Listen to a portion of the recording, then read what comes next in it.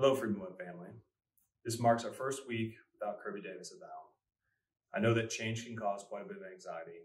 So first and foremost, I want to assure you that I and leadership do not have any plans to do any major overhauls. Kirby did an amazing job of leading this company over the last eight years and building upon the culture that Bill and Jimmy created more than 40 years ago. My intent is to continue that, to continue to develop and build upon the culture and foundation that we have here.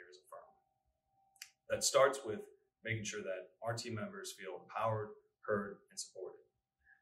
Those who I've worked with over the years know that I have an open door policy. I strongly encourage feedback and, and collaboration. As a leader, our number one job is to make sure that our teams have the support that they need to be successful and to continue to grow.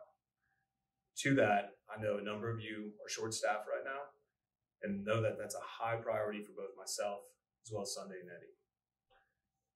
More broadly, as a firm, there are three primary objectives that I have and goals that I hope that we can accomplish. The first is growth.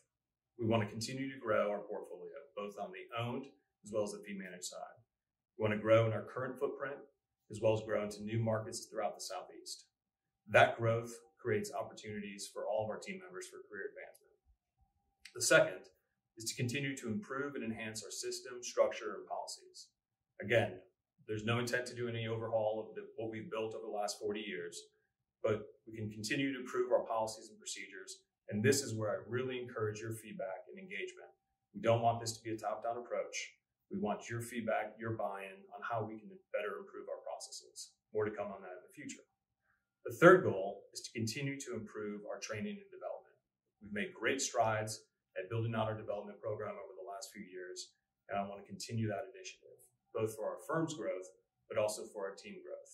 Again, as a leader, our job is to make sure you have the support you need to be successful and continue to grow.